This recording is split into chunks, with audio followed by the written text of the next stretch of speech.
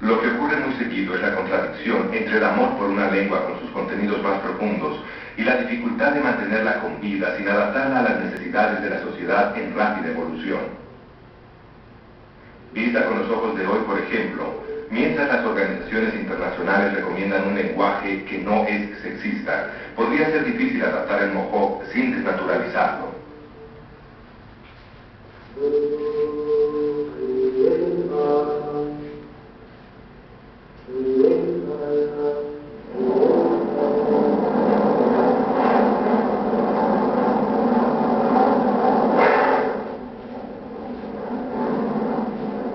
Pasando el puente de Brooklyn en Nueva York, se llega a la colonia de Williamsburgo, donde vive la más consciente de las comunidades hebreas que pertenecen al movimiento místico religioso casídico.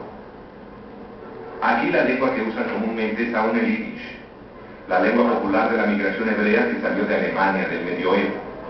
Hablada un tiempo sobre todo por los hebreos de Europa centro-oriental, pero los eventos dramáticos de estos últimos 100 años han despojado en los Estados Unidos del punto de referencia para la lengua y la cultura yiddish.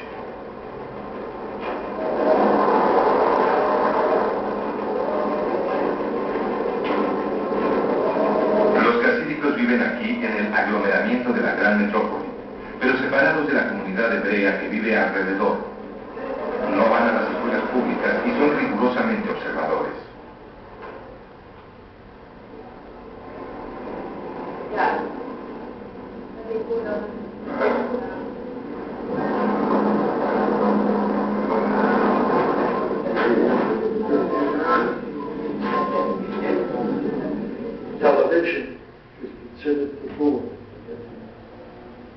La televisión se considera como tabú en esta comunidad.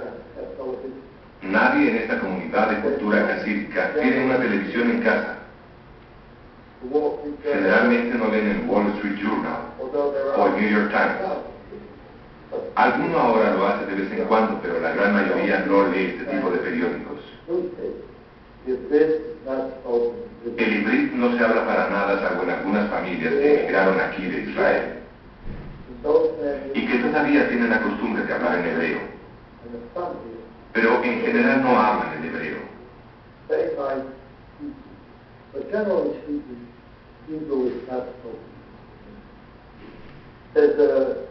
Hay un motivo religioso para esto, porque esta comunidad, normalmente clasificada como sionista, en realidad se describe como antisionista. Y es por eso que el hebreo como lengua de la vida cotidiana no se usa. Pero para las oraciones y la liturgia se usa la que se considera como lengua santa y no el used. Que en el yiddish se llama oshon, que significa lengua santa.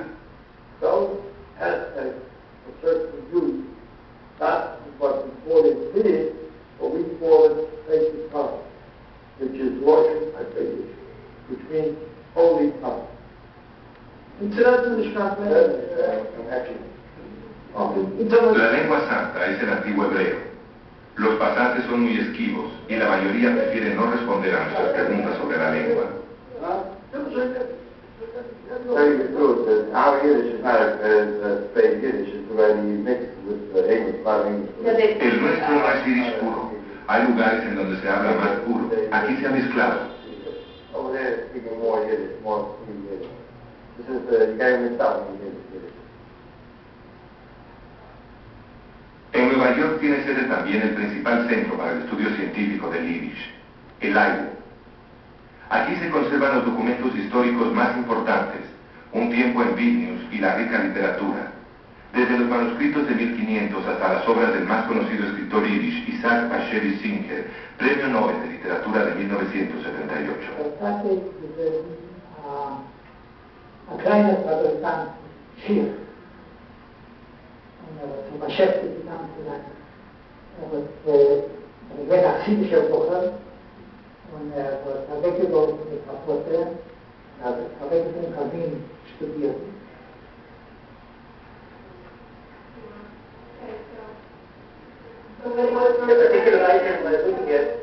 El objeto que estamos observando es el libro de París y Viena estampado en Verona en 1594.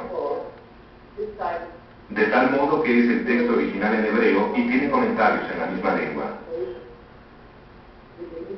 Esta es la traducción en yiddish, con los comentarios en yiddish. Esta versión particular fue estampada en 1907 en Offenbach, creo. Su objetivo era el de que este libro de Salmos fuera accesible a la población hebrea menos instruida y en particular para las mujeres. La historia de la Torre de Babel comienza en hebreo y continúa después en yiddish, muy arcaico que ahora es muy difícil de comprender.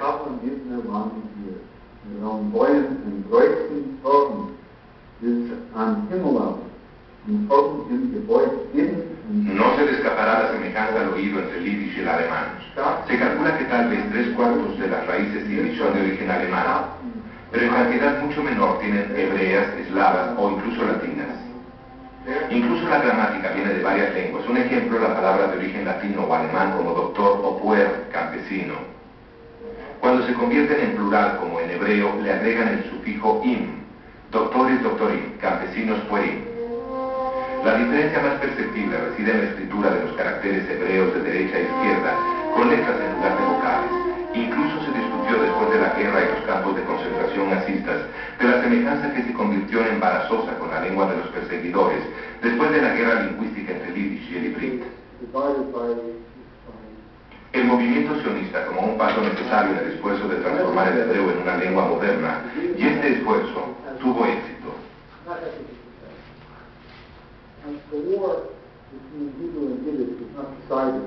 Pero la guerra entre el hebreo y el yiddish no la decidieron los hebreos, sino que la decidieron los El hecho de que los nazistas hayan casi aniquilado la cultura hebrea se convirtió para el yiddish en un problema, pero no en el sentido de que la gente se encontró deseando hablar en yiddish por su afinidad con el alemán, no. Fue porque los hablantes de yiddish en el mundo disminuyeron a 6 millones.